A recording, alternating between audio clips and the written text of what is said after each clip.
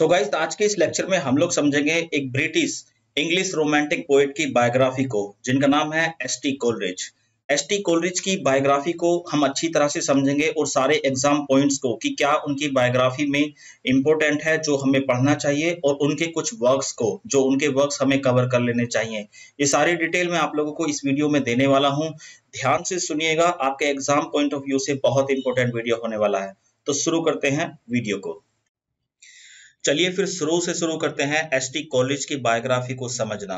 देखिए S T Coleridge के बारे में आपको ये तो पता चल गया है कि S T Coleridge romantic age से बिलोंग करते थे और एक लेक पोएट थे। अब ये लेक पोएट या लेक स्कूल जो है, इस टर्म को किसने कोइन किया? कौन कौन इस ग्रुप में रखे जाते थे? ये सारी डिटेल मैं आप लोगों को आगे समझाऊँगा। ठीक है? तो पहले हम एस टी कॉलेज की बायोग्राफी को समझना स्टार्ट कर देते हैं। देखो कॉलेज जो थे, इनका पूरा नाम सैम्यूल टेलर कॉलेज था। सैम्यूल टेलर कॉलेज इनका पूरा नाम था और इनका जन्म 21 अक्टूबर 1772 को हुआ था। इनका जन्म 21 अक्टूबर 1772 को हुआ था ऑटरे सेंट मैरी नाम की जगह पर। डेवोन में थी और इंग्लैंड में इनका जन्म हुआ था। अब इससे पता चलता है कि जब हम वर्ल्ड लिटरेचर को पढ़ते हैं तो अलग अलग देश के राइटर्स हम लोगों को पढ़ना पड़ता है। तो एस टी कॉलेज ब्रिटिश से बिलोंग करते थे। इसके अलावा इनके फादर की डिटेल को जान लेते हैं कि इनके फादर का क्या नाम था, क्या वो करते थे। तो इनके फादर का नाम था John Coleridge.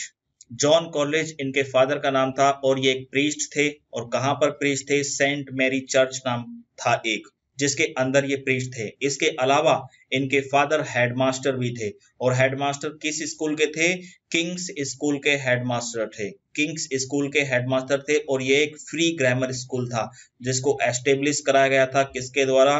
King Henry eight के द्वारा एस्टेब्लिश कराया गया था। इसके अलावा इनके फादर जॉन कॉलरेज जो थे, इससे पहले वो एक मास्टर थे ह्यूज स्क्वायर्स स्कूल के अंदर। ये एक मास्टर थे, उसके बाद ये हेडमास्टर बने किंग्स स्कूल के। राइट बढ़ते हैं आगे। अब इनकी मदर के बारे में जान लेते हैं। जो एस टी कॉलरेज हैं, उनकी मदर का नाम एन बॉर्डन है। अब आप लोगों को यहाँ पर विलियम वर्सवर्थ और एस टी कॉलरेज के जो पेरेंट्स हैं, वहाँ पर एक सिमिलरिटी देखने के लिए मिलेगी, जो विलियम वर्सवर्थ के फादर का नाम था, उनका नाम भी जॉन था। और उनकी मदर का नाम देखोगे, विलियम वर्ड्सवर्थ की तो उनका नाम भी एन था, ठीक है? लेकिन उनके सरनेम अलग थे, लेकिन फ़र्स्ट नेम बिल्कुल सेम थे। ये मैं आगे चल के बताऊँगा कि विलियम वर्ड्सवर्थ कैसे एसटी कॉलेज के साथ कनेक्ट थे। अब बात कर लेते हैं अपने पोएट एसटी कॉलेज के सिबलिंग्स की। देखिए जो इनके फादर थे, जॉन कॉलरिज जॉन कॉलरिज की दो शादियाँ हुई थी। पहली शादी से उन्हें तीन बच्चे थे और दूसरी शादी मतलब उनकी सेकंड वाइफ से उन्हें सेवन चिल्ड्रन थे जो एन बोर्डन थी।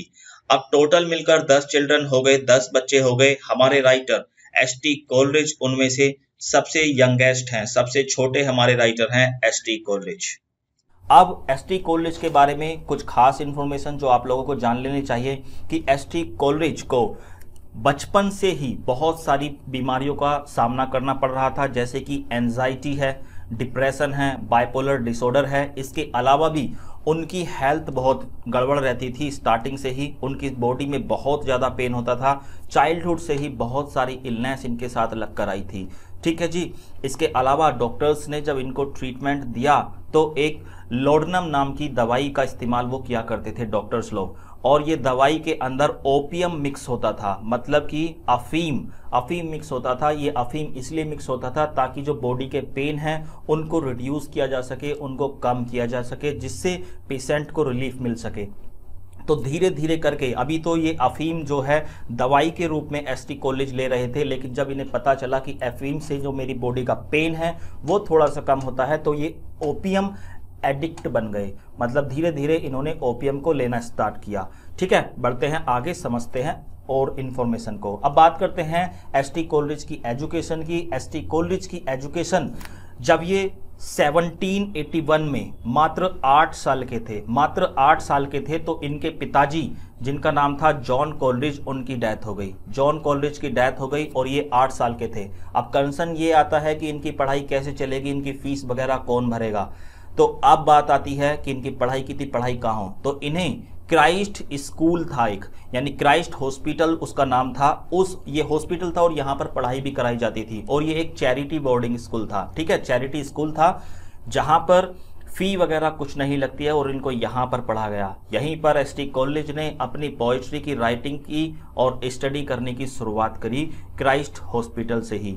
अब क्राइस्ट हॉस्पिटल में इनकी मुलाकात होती है एक बेहतरीन रोमांटिक एसेइस्ट से। उनका नाम है चार्ल्स लैब इनसे इनकी मुलाकात क्राइस्ट हॉस्पिटल में ही होती है और एस टी कॉलेज से बहुत ज़्यादा प्रभावित हुए थे चार्ल्स लैम अब चार्ल्स लैम प्रभावित तो हुए, लेकिन ये एस एसेइस्ट बने पोएट नहीं बन पाए, क्योंकि अपनी अपनी खूबी होती है हर इंसान की। इन्होंने एस टी कॉलेज को फॉलो तो किया, लेकिन अच्छे पोएट नहीं बन पाए। है ना? बहुत ज़्यादा इंस्पायर्ड थे एस टी कॉलेज से ये, लेकिन एक एसए की कैटेगरी में इनको रखा गया। मैं अभी आगे चल के बताऊँगा आप लोगों को। इन दोनों ने, यहाँ पर चार्ल्स लैम ने और एस टी कॉलेज ने वर्जिल के वर्क्स को स्टडी करना स्टार्ट किया, ताकि वो क्लासिकल लर्निंग से अपनी लर्निंग को आगे बढ़ा चुके तो देखो चार्ल्स लैम ने अपना नाम एसेज में प्रिंस ऑफ़ इंग्लिश एसे में दर्ज करा लिया। मतलब ये बहुत ही उम्दा क्वालिटी के एसे लिखा करते थे। अगर एसे की बात की जाए तो इस लिस्ट में पहले दो ही नाम आया करते थे। सबसे पहले मिसेल डी मोन्टेंग का नाम आता था। वो फादर ऑफ़ एसे कहे जाते हैं। उसके बाद फ्रांसिस बैकन का नाम आता था, जिन्हें फादर ऑफ़ इंग्लिश एसे कहा जाता है। लेकिन चार्ल्स लैम भी पीछे नहीं रहे। उन्होंने प्रिंस ऑफ़ इंग्लिश एसए की उपाधि मतलब उन्हें प्रिंस ऑफ़ इंग्लिश एसए के नाम से जाना जाता है। ठीक है जी, चलो बढ़ते हैं आगे। अब एस टी कॉलेज की स्कूल की पढ़ाई पूरी हो जाती है। अब बात आती है कॉलेज की। तो इन्होंने क्राइस्ट हॉस्पिटल से निकलकर जीजस कॉलेज, कैम्ब्रिज यूनिवर्सिटी में एडमिशन लिया और यहाँ पर इन्होंने पढ़ाई 1791 से लेकर 1794 तक की। इसके बाद इन्हें 1792 में ब्राउन गोल्ड मेडल से नवाजा गया क्योंकि इन्होंने स्लेवरी को, के ऊपर एक ओड को लिखा है और ये ओड जो है, इनके लिए बहुत अच्छा साबित हुआ जिसकी वजह से इन्हें ब्राउन गोल्ड मेडल दिया गया था। इन दिसंबर 1793 में कोलरिज ने कुछ समय के लिए अपना नाम चेंज कर लिया था और सिलियास टॉमकिन कैम्बरबेंच इन्होंने अपना नाम रख लिया था। अब इसके पीछे कई वजह लगाई जा सकती हैं। वो क्या? कि 1793 में इनके ऊपर बहुत सारा कर्जा हो गया था, क्योंकि आप लोगों को पता ही है कि ये फिजिकली बहुत वीक थे, बहुत सारी बीमारियों ने इन्हें घेरा हुआ था तो इन्हें पैसे की ज़रूरत पड़ती रहती थी, लोगों से इन्होंने कर्जा ले लिया। हो सकता है इस वजह से नाम इन्होंने चेंज कर लिया हो। या फिर दूसरी वजह इसकी लगाई जाती है स्कॉलर्स ये मानते हैं कि मैरी इवांस नाम की एक लड़की थी, जिससे इन्हें प्यार हो गया था। लेकिन मैरी इवांस ने इन्हें रिजेक्ट कर दिया था और ये अपनी आइडेंटिटी को छुपाने के लिए इन्होंने अपना नाम बदल लिया था, ताकि इनकी ज़्यादा बेजती ना हो। लेकिन बाद में ये नाम इनका बहुत कम समय के लिए रहा, बाद में इन्होंने अपना नाम फिर से एसटी कॉलेज रख लिया। ठीक है?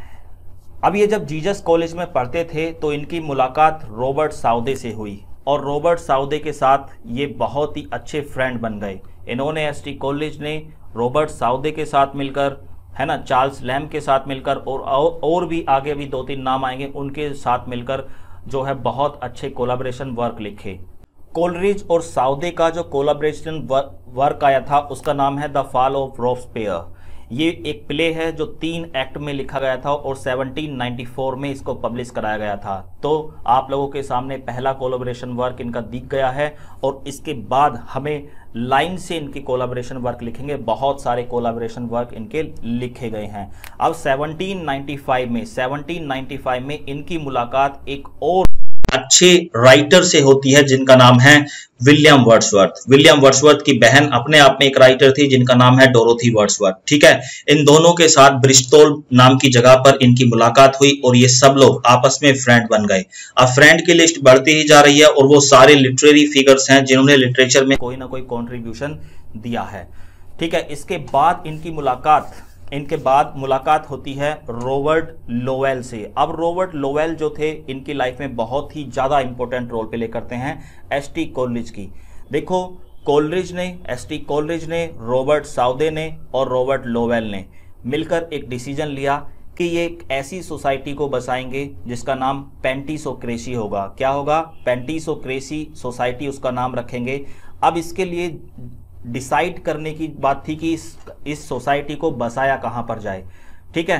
तो अभी तक तो ये तीन लोग थे इस सोसाइटी को बसाने के लिए, जिनका आइडिया था रॉबर्ट लोवेल, कोलरिच और रॉबर्ट साउदे। इन तीनों के अलावा इसमें कुछ और लोग ऐड हुए, जैसे कि सबसे पहले ऐड हुई रॉबर्ट लोवेल की पत्नी मैरी फ्रीकर। मैरी फ्रीकर सबसे पहले ऐड हुई। अब मैरी फ्रीकर ने सोचा कि मैं अपनी बहन को भी इनको इसमें ऐड कर लेती हूँ तो मैरी फ्रीकर अपनी बहन सारा और एडिथ फ्रीकर को भी इस ग्रुप में ले आई। तो कुल मिलाकर छह लोग हो गए जो पैंतीसो क्रेसी नाम की जगह को बसाना चाहते थे। ठीक है, अब इस जगह को बसाने के लिए इन्हें ये जगह स्थापित तो नहीं कर पाए मतलब जगह तो ये डिसाइड नहीं कर पाए, लेकिन एक फ़ायदा इन लोगों को इससे हुआ। रॉबर्ट लोवेल की शादी ऑलरेडी मैरी फ्रीकर से थी, लेकिन इसी बीच हमारे पोएट एस टी कॉलेज जो हैं, उन्होंने सारा फ्रीकर से शादी कर ली। सारा फ्रीकर से शादी कर ली। अब कुछ लोगों को ये कंफ्यूजन होता है कि सारा फ्रीकर जो हैं, इनकी वाइफ नहीं है, सारा हचनसन इनकी वाइफ हैं, जो विलियम वर्ड्सवर्थ की साली हैं। तो मैं उनको क्लियर कर देता हूँ, नहीं। सारा फ्रीकर ही इनकी वाइफ का नाम है, सारा हिचनसन नहीं है। दोनों बिल्कुल आपस में नाम सेम है। ठीक है लेकिन सरनेम अलग है तो आप कंफ्यूज ना हुएगा तो एस टी कॉलेज ने सारा के साथ शादी कर ली और बची अब एडिथ तो एडिथ को लपक लिया किसने? रॉबर्ट साउदे ने। रॉबर्ट साउदे ने एडिथ फ्रीकर के साथ शादी कर ली। तो सबके घर बस गए बस ये सो, सोसाइटी पेंटिसो क्रेसी नहीं बस पाई। राइट आगे बढ़ते हैं। अब ये शादी जो कॉलेज की सारा के साथ हो गई थी ये अनहैप्पी प्रूव हुई। मतलब इस शादी को ये अच्छे से नहीं चला पाए। और दोनों में प्यार बिल्कुल नहीं था, लेकिन इसके बावजूद भी इस शादी से इनके चार बच्चे हुए। जब ये चार, चौथे बच्चे को इन्होंने जन्म दिया था तो ये धीरे धीरे करके आपस में सेपरेशन की तरफ़ चल दिए और ये फाइनली सेपरेट हो गए। ठीक है? दोनों अलग हो गए। अब जो रॉबर्ट लोवेल हैं, इन्होंने क्या किया? एक और अच्छा काम किया, एस टी कॉलेज और रॉबर्ट साउदे के लिए। रॉबर्ट साउदे और एस टी कॉलेज को इन्होंने एक इंसान से मिलाया, जिसका नाम है जोसेफ कोटेल। ये इंसान जो है एस टी कॉलेज के लिए और जो, और सऊदे के लिए क्या बने? पैट्रोन बने। पैट्रोन किसे कहते हैं? जो किसी भी राइटर को स्पॉन्सर करे या उनकी फाइनेंशियली हेल्प करे, जो उनके वर्क्स को पब्लिश करा सके। ठीक है? तो ये इनसे मिले थे। इसके अलावा जो लोवेल थे, इनकी 1796 में डेथ हो गई और इनकी डेथ के दौरान पर जो कॉलेज थे, वहीं पर प्रेजेंट थे। राइट right, बढ़ते हैं आगे आई होप यहाँ तक की इन्फॉर्मेशन आपको बिल्कुल समझ में आ रही होगी। स्टेप बाय स्टेप आपको इनकी बायोग्राफी समझाता हुआ चल रहा हूँ। अब 1796 में ही इन्होंने अपना फ़र्स्ट वॉल्यूम ऑफ़ पोएम जो है उसको पब्लिश करा दिया। उसका नाम है poems on various subject poems on various subject S T Coleridge ने पब्लिश कराया था। इसके अंदर चार पोएम तो ऐसी थी जो चार्ल्स लैम ने लिखी थी। और उसके अलावा रॉबर्ट साउदे ने लिखी थी और इनकी अपनी भी पोएम इसके अंदर थी। ठीक है? पोएम्स ऑन वेरियन सब्जेक्ट के अंदर वेरियस सब्जेक्ट के अंदर इनकी अपनी पोएम्स भी थी।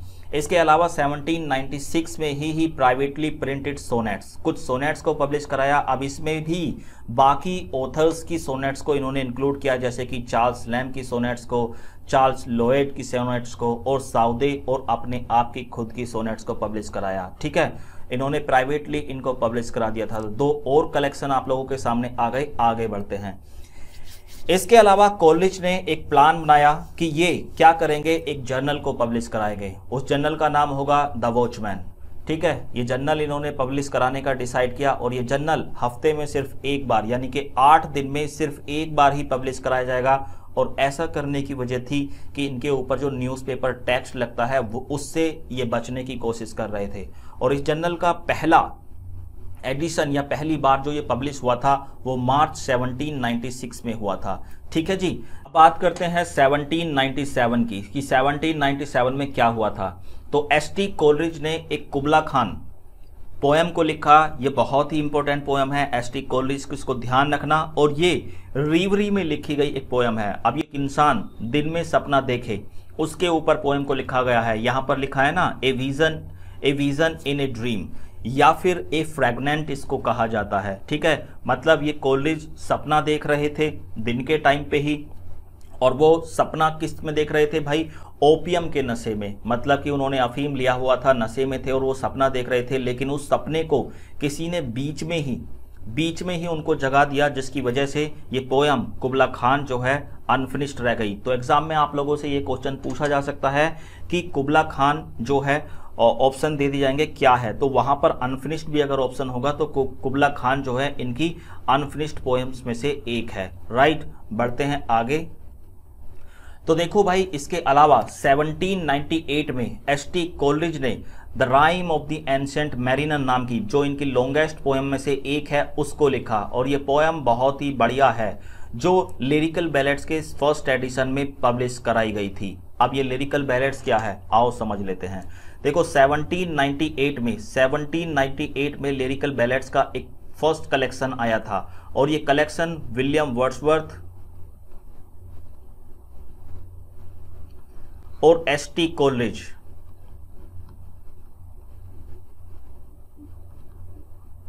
ने मिलकर लिखा था। इस कलेक्शन के अंदर टोटल 23 पोएम्स थी, जिसमें से 23 पोएम्स थी।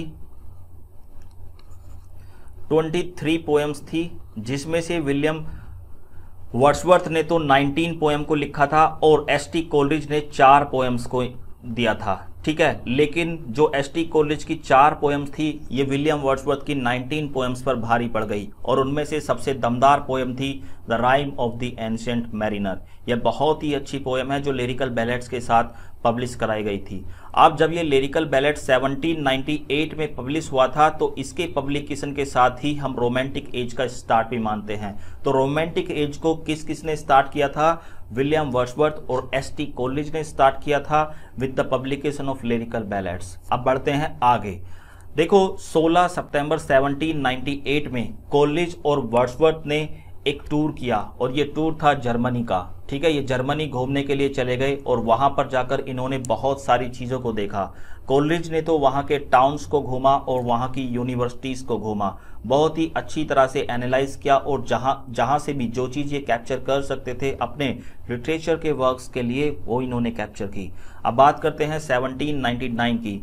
कोलरिज और वर्ड्सवर्थ दोनों जब जर्मनी में थे तो इन्होंने थॉमस हचनसन के यहाँ पर उनके फार्म हाउस पे रुकने का फैसला लिया। उनके फार्म हाउस पर रुकने का फैसला लिया। अब इससे पहले कॉलेज अपनी वाइफ से सेपरेट हो ही चुके थे, है ना? लगभग हो ही चुके थे, लेकिन पहले से ही वो अपनी वाइफ को प्यार नहीं करते थे। जो सारा फ्रीकर थी, उससे प्यार नहीं करते थे।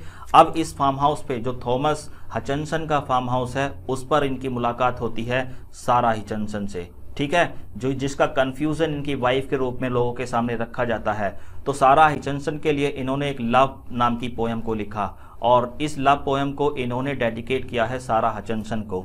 ठीक है जी?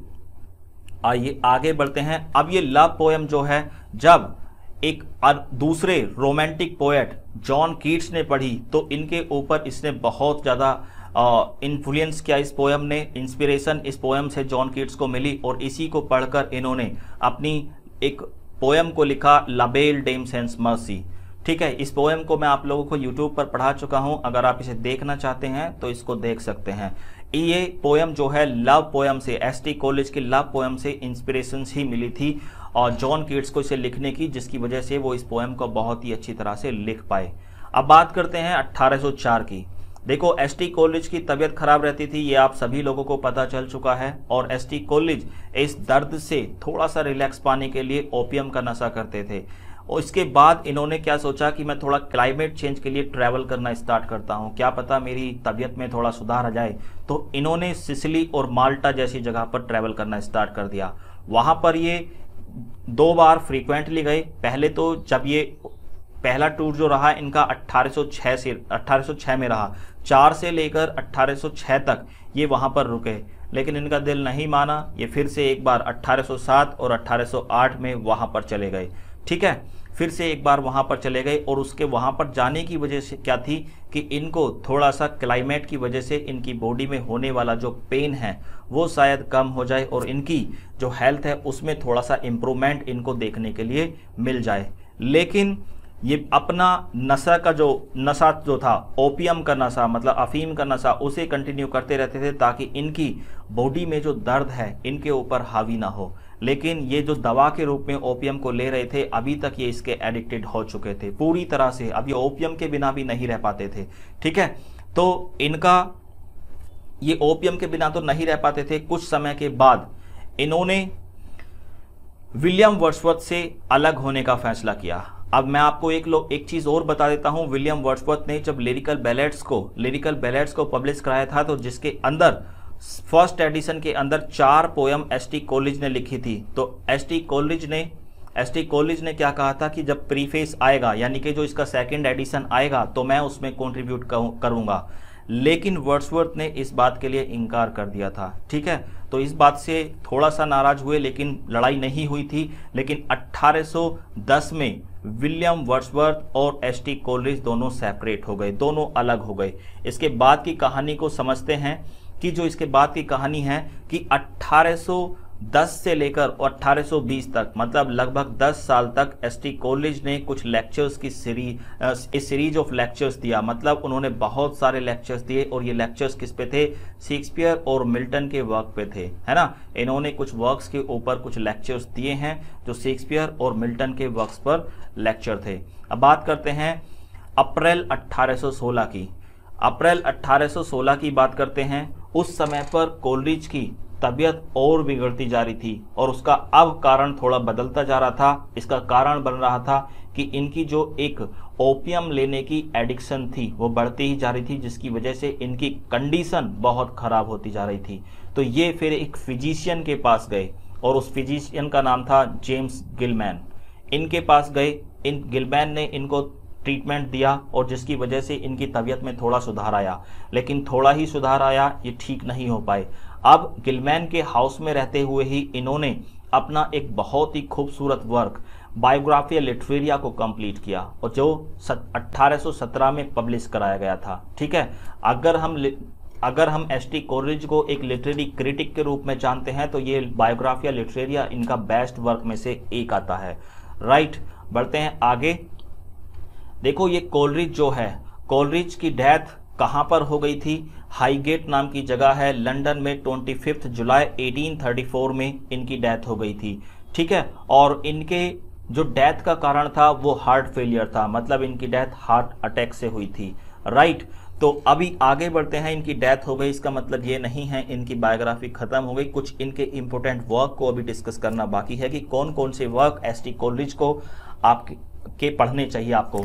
अब आपने एक टर्म सुना होगा लेक पोएट्स इसको हम लेक पोएट्स के अलावा लेक स्कूल के नाम से भी जानते हैं। ठीक है लेक स्कूल भी इस टर्म को हम कहते हैं। अब इस टर्म इस पोएट इस टर्म के अंदर, यानी कि इस फ्रेज के अंदर किस किस को रखा जाता है? तो सबसे पहले विलियम वर्ड्सवर्थ इसमें आते हैं। लेक पोएट्स में विलियम वर्ड्सवर्थ को रखा जाता है। दूसरा, एस टी कोल्ड्रिज को रखा जाता है और तीसरा, रॉबर्ट साउदे को रखा जाता है। अब ये टर्म भाई दिया किसने था? ये देख लेते हैं, ये टर्म किसने दिया था? इस टर्म को देने वाले कौन थे? फ्रांसिस जेफरी नाम का एक बंदा था। ये भी एक अच्छे क्रिटिक थे। इन्होंने इस टर्म को दिया था और किसमें दिया था? एक मैगजीन के अंदर दिया था। द एडिनबर्ग रिव्यू, ये एक मैगजीन है जो 1817 में इस टर्म को दिया गया था। आई होप यहाँ तक आपको सारी चीज़ें समझ में आ रही हैं। बढ़ते हैं आगे। आप देखो, लिटरेरी थ्योरी में अगर एस टी कॉलेज का नाम अच्छा रखा जाता है तो उसका मेन वजह है इनका work Biographia Literaria. Biographia Literaria में इन्होंने वर्ड्सवर्थ की थ्योरी ऑफ़ पोएट्री को क्रिटिसाइज किया है। इस वर्क को 1817 में पब्लिश कराया गया था किसके द्वारा? एस टी कॉलेज के द्वारा। ठीक है? जब ये ओपियम का अपना इलाज करा रहे थे, उसी दौरान इस वर्क को पब्लिश कराया गया था। अब बायोग्राफिया लिटरेरिया जो है, इन्होंने सबसे पहले सोचा था कि ये एक शॉर्ट प्रीफेस होगा। शॉर्ट प्रीफेस होगा टू एक कलेक्शन ऑफ़ हिज पोएम्स इनकी पोएम्स का एक कलेक्शन आने वाला था, जिस तरह से लिरिकल बैलेट्स का 23 पोएम का कलेक्शन था तो इन्होंने सोचा मैं भी उसी तरह का कलेक्शन निकालूँगा। ठीक है? और इन्होंने जो सिबलाइन लीव्स नाम का कलेक्शन था, जो 1817 में ही इनका आना था तो उसी के इन्होंने प्रीफेस बनाने की कोशिश की थी बायोग्राफिया लिटरेरिया को। और बायोग्राफिया लिटरेरिया देखते ही देखते अपने आप में एक्सपेंड होता चला गया क्योंकि एस टी कॉलेज इसको लिखते ही जा रहे थे।